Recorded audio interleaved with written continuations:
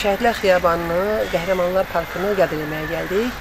Yəni gəlişimizin həmişə gəlirik biz e, Şəhidlər Xiyabanını yad eləməyə, amma bu dəfəki gəlişimiz tam başqa e, xarakter daşıyırdı.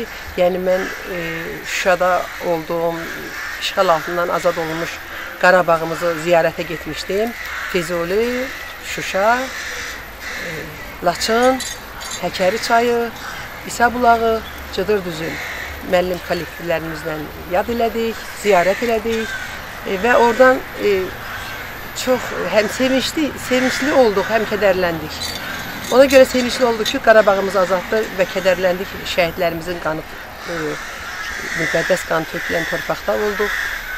Özümə borc bildiyim oradan İsa bulağından gözəl İsa bulağının torpağını götürdüm, Şuşa torpağı götürdüm.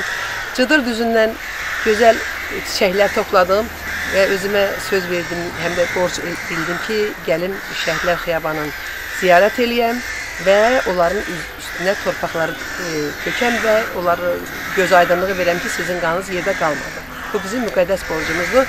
Təsadüfən Rafil müəllim də Şəhidlər Xiyabanına gəlmişdi və bizi onu da gördük. O da bizdən sağ olsun qəbul elədi. Bizlə şəhidlərin üstünə torpaq tökmək, gül qoymaq mərasimində iştirak elədi.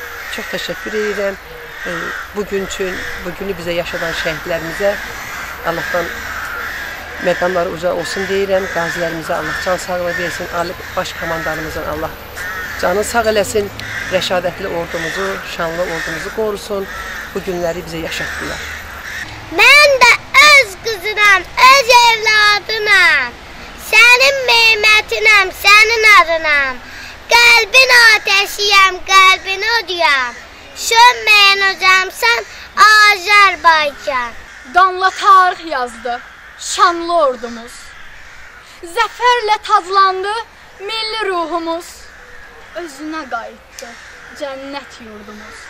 Artıq Qarabağım çiçəklənəcək. Azərbaycan, zəfər günün mübarək. Şəhidlik ən ali, müqəddəs və şərəfli zirvədir.